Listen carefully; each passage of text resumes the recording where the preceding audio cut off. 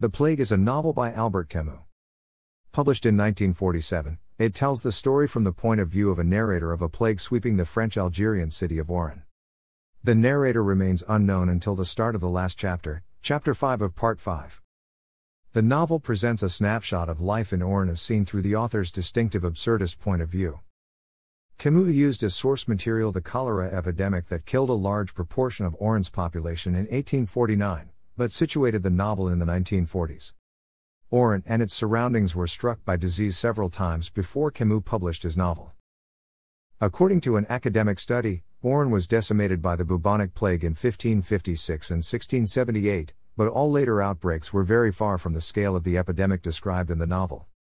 The Plague is considered an existentialist classic despite Camus' objection to the label. The novel stresses the powerlessness of the individual characters to affect their destinies. The narrative tone is similar to Kafka's, especially in the trial, whose individual sentences potentially have multiple meanings, the material often pointedly resonating a stark allegory of phenomenal consciousness and the human condition. The book begins with an epigraph quoting Daniel Defoe, author of A Journal of the Plague Year. Dr. Rieux resolved to compile this chronicle. In the town of Oran, thousands of rats, initially unnoticed by the populace, begin to die in the streets. Hysteria develops soon afterward, causing the local newspapers to report the incident. Authorities responding to public pressure order the collection and cremation of the rats, unaware that the collection itself was the catalyst for the spread of the bubonic plague. The main character, Dr. Bernard Rieux, lives comfortably in an apartment building when strangely the building's concierge, and Michel, a confidant, dies from a fever. Dr. Rieux consults his colleague, Dr. Castel, about the illness until they come to the conclusion that a plague is sweeping the town. They both approach fellow doctors and town authorities about their theory but are eventually dismissed on the basis of one death. However, as more deaths quickly ensue, it becomes apparent that there is an epidemic. Meanwhile, Rieux's wife has been sent to a sanatorium in another city, to be treated for an unrelated chronic illness. Authorities, including the prefect, are slow to accept that the situation is serious and quibble over the appropriate action to take. Official notices enacting control measures are posted, but the language used is optimistic and downplays the seriousness of the situation. A special ward is opened at the hospital, but its 80 beds are filled within three days. As the death toll begins to rise, more desperate measures are taken. Homes are quarantined, corpses and burials are strictly supervised.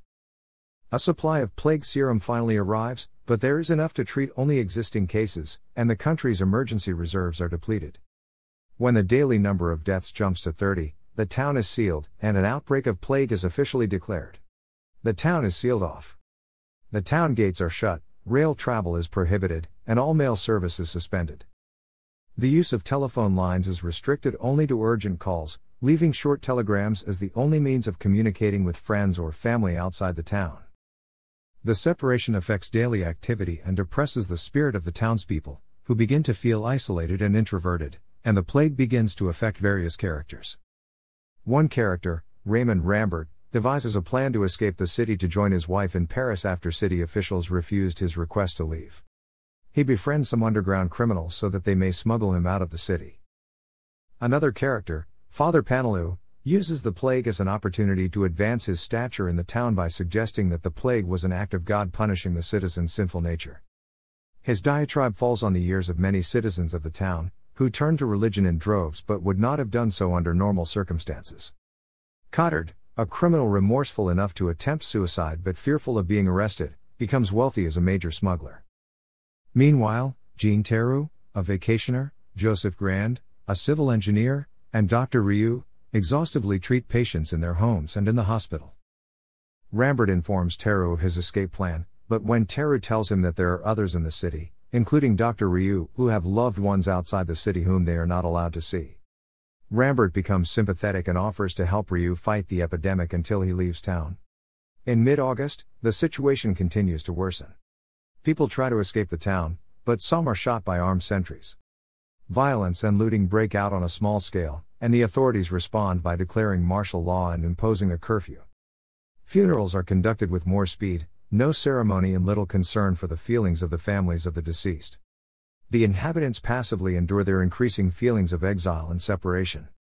Despondent, they waste away emotionally as well as physically. In September and October, the town remains at the mercy of the plague. Rieux hears from the sanatorium that his wife's condition is worsening.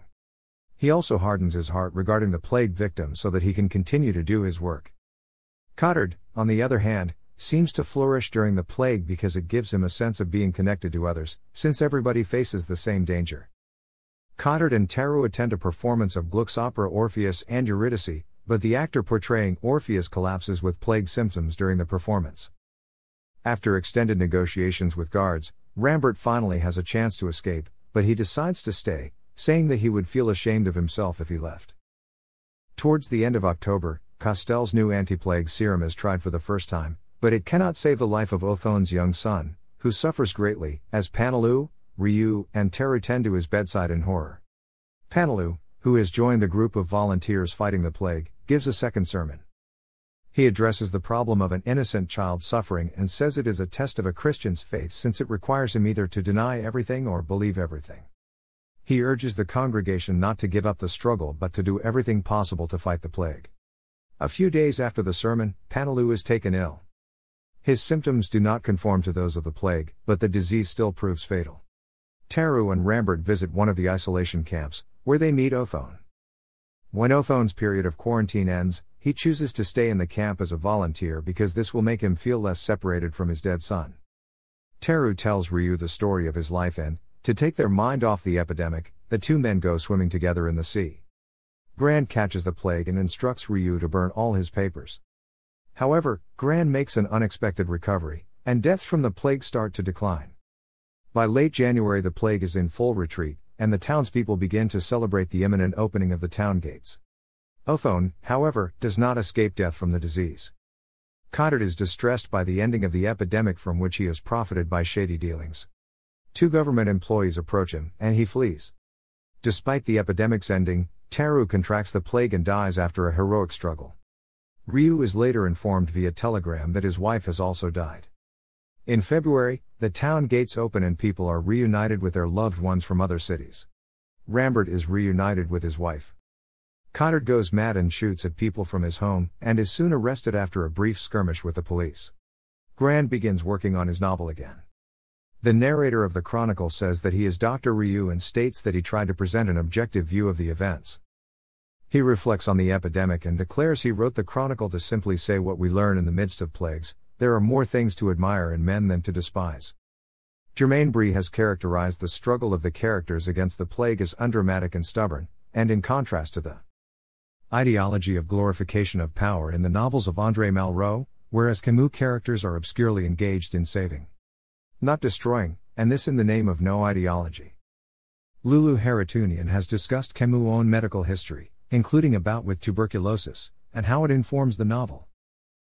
Marina Warner notes its larger philosophical themes of engagement, paltriness and generosity, small heroism and large cowardice, and all kinds of profoundly humanist problems, such as love and goodness, happiness and mutual connection. Thomas L. Hanna and John Luce have separately discussed themes related to Christianity in the novel, with particular respect to Father Paneloux and Dr. Rieux. Louis R. Rossi briefly discusses the role of Tarrou in the novel, and the sense of philosophical guilt behind his character. Elwyn Sterling has analyzed the role of Cottard and his final actions at the end of the novel. Dr. Rieux has been described as a classic example of an idealist doctor. He has also been an inspiration to the life and career of the French doctor Réjean Thomas, and also to the fictional character of Jean Dion, starring in the movie trilogy directed by Bernard Émond. The novel has been read as an allegorical treatment of the French resistance to Nazi occupation during World War II. The novel became a bestseller. During the worldwide COVID 19 pandemic of 2020, to the point that its British publisher Penguin Classics reported struggling to keep up with demand. The prescience of the fictional cordon sanitaire of Oran with real life COVID 19 lockdowns worldwide brought revived popular attention. Sales in Italy tripled and it became a top 10 bestseller during its nationwide lockdown.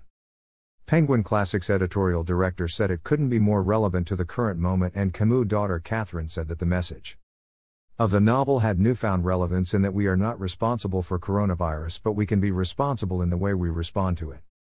As early as April 1941, Camus had been working on the novel, as evidenced in his diaries in which he wrote down a few ideas on the redeeming plague. On March 13, 1942, He informed Andre Malraux that he was writing a novel on the plague, adding said like that it might sound strange, but this subject seems so natural to me. Thanks for watching.